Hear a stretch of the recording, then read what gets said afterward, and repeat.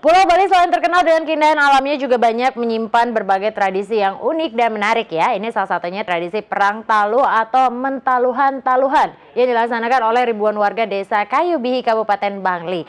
Perang dengan taluh-taluhan ini atau bola yang dibuat dari anyaman daun kelapa atau enau ini justru bertujuan untuk mempererat tari kekeluargaan dan kebersamaan antar warga.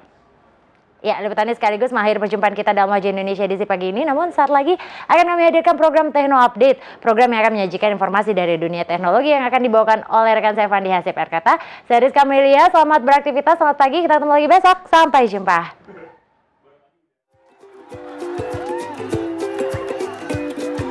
Dengan bersenjatakan taluh-taluhan yang dibuat dari anyaman daun kelapa atau enau, warga saling serang dan saling kejar.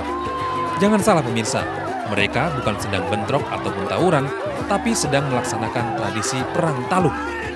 Meski judulnya perang, tapi suasananya justru dipenuhi senyum dan tawa. Sebelum perang taluh dimulai, ritual dilaksanakan di pura posa desa setempat. Taluh-taluhan yang akan digunakan terlebih dahulu dieram dengan dikitari oleh para gadis desa. Peserta perang yang terdiri dari dua kelompok pemuda dan orang tua sembahyang bersama, memohon keselamatan dan kemakmuran. Selanjutnya, talu-taluan tersebut diperebutkan warga sebagai senjata perang. Dalam perang ini tak sedikit warga yang kesakitan akibat dilempar talu-taluhan yang dianyam menyerupai bola sebesar kepalan tangan tersebut. Meski demikian, sama sekali tidak ada dendam yang dirasakan oleh para warga. Nah, karena mungkin anunya itu karena senang dan menikmati dan merasa ya kita apa namanya untuk desa kita jadi nggak terasa. Makna dari Perang Taluh ini adalah luapan rasa gembira masyarakat di Pekraman Kayubi karena yadnya Sabo yang telah dilaksanakan dari ngawit dari mulainya dari dalam pingit sampai Sabo Poso atau Sabo Klot sudah bisa berjalan dengan baik, lancar dan tentram.